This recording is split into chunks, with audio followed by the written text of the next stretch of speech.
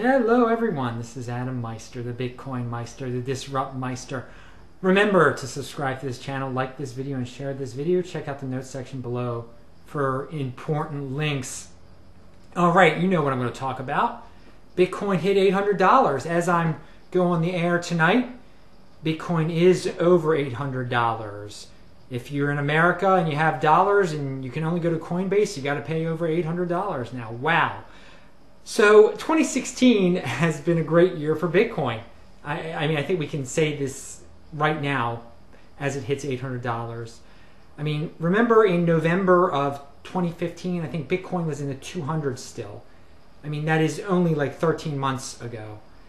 And remember when Mike Hearn quit Bitcoin back in January and he said it was over, the experiment was over. And and just all the panic and all the FUD associated with it, and, and all the mainstream media blindly covering that story to no end.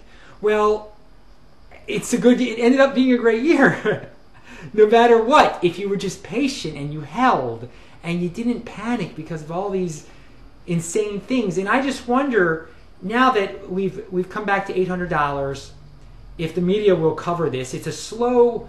It's a slow media week because um, um, this weekend is a holiday for some people, and a lot of people just don't work this week, don't work next week. So I don't know how much coverage this is going to get, um, and how many people will actually be paying attention. But I mean, it could it could send people like into a fear of missing out type of thing, which would be great because we didn't miss out. Most of you already have quite a bit of Bitcoin, hopefully, and I, I hope you do at least. So. Uh, I think looking back, we can agree uh, that the halving in the middle of the year uh, that was that was a bullish event, and uh, a lot of people were predicting different things that maybe the, everything would go to zero. you heard all sorts of different scenarios. I think we can look back and honestly say it, it played a role in where we are today, how we got up to 800 today. I mean, it does the halving translate automatically into a doubling of price or, or close to a doubling of price? Um, some will argue that it does now. Um, I don't know. I don't know if you ever be able to prove it, but I will say this: that if you're not looking forward to the halving of 2020, because that's the next halving is in 2020, not so far away. There's a, another presidential election that year too. Oh God, but but the halving is much more important. And um, I, I think you, you, I don't see how anyone, without after living through this halving and seeing that the price is 800 now, um, could not hold as much Bitcoin as they possibly can until at least um, after the halving of 2020. Um, I think you have to be really bullish on that event and you have to learn how to be patient. And you have to learn how to i mean not to get into any financial calamities between here and and then um, so you don't have to sell your bitcoin. Don't don't flip around or trade your bitcoin as i've always advised to everyone on here. Um, i'd like to uh, give a uh, quote uh, from vinny lingham's uh, twitter. I will link to it below and i don't know what he's exactly referring to in terms of the date but here it goes. December 19th, 1996, heralded, heralded the dawn of the information age. 2016 has led us into the misinformation age.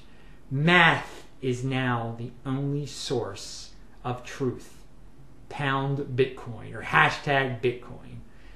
I think that's pretty awesome. I don't know what happened on December 19th, 1996. I'm sorry if I'm naive. Um, I, can remember 1996 now. Anyway, altcoin trading. I'd like to mention, I was thinking about altcoin trading the other day, and it is, like it or not, it exists. And it really, at least in the United States of America, it needs Bitcoin enabled. Bitcoin is the fuel of altcoin trading. You're not trading dollars for uh, altcoins on these exchanges. You're you're using your Bitcoin to buy. I mean, you, there's few places you can buy altcoins with dollars. You can buy Litecoin and Ethereum, obviously at the uh, the GDAX. But but other than that, uh, no, you're, you're not going to get your uh, Monero many other places but in exchange. And for that reason, this separate industry, um, which lives on the board, the gray market area almost, I think it's I. I mean, I have no problem with it at all. But you know, regulators are just like salivating, wanting to like do something. Like, how can these people use Bitcoin of all things to get different versions of Bitcoin, this cryptocurrency thing?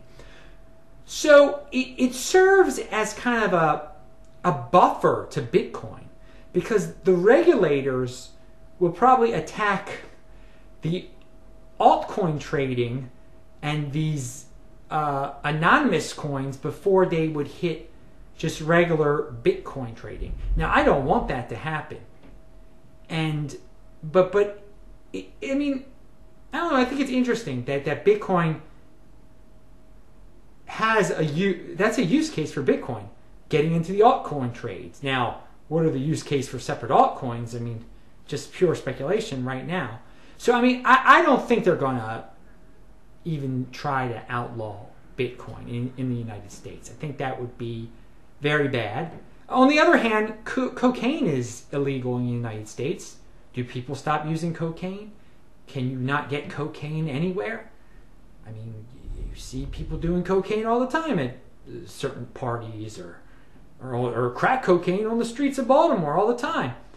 Uh, you see vials and people selling it all the time. So, I mean, uh, if they made a Bitcoin illegal, I, I don't think it would stop it at all. You really can't, and you can't stop Bitcoin.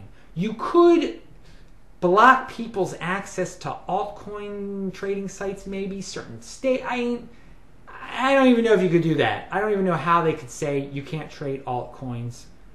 But it would scare some people away from it. It does serve as a. I, I'm, I don't know if I'm making my line of thinking very clear here, but it does, it does serve as a buffer to people, uh, regulators going after Bitcoin. They could go after uh, something that's it's shadier. It is, again, I don't think it's shady at all. I mean, do what you want to do. It's your money.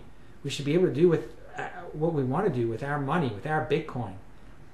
All right, finally, a link to a uh, Twitter post, uh, a tweet by Erik Voorhees. He uh, there's a picture of a uh, a Swiss receipt at a train station.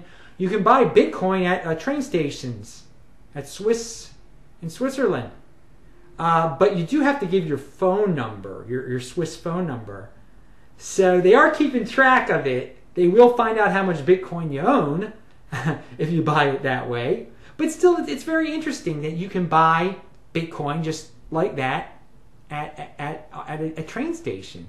It's really awesome. I'm Adam Meister, the Bitcoin Meister. I will talk to you later. 800.